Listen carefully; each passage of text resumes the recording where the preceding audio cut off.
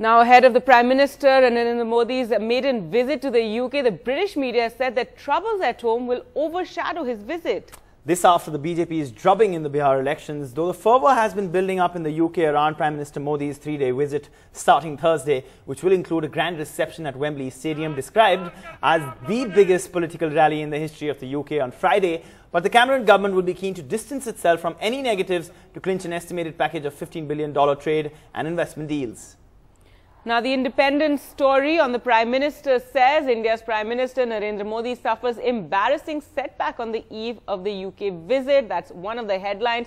Another, The Guardian says BJP's failure to win regional poll in poor state seen as indication that Modi's appeal to voters has begun to wane. While the Financial Times says a host of trouble at home overshadows Modi's UK visit. And the Telegraph headline reads Narendra Modi suffers major electoral setback on eve of London visit. Meanwhile, UK Prime Minister David Cameron met few members of the media informally inside 10 Downing Street and spoke about how he was very excited about Prime Minister Narendra Modi's visit to the UK in two days.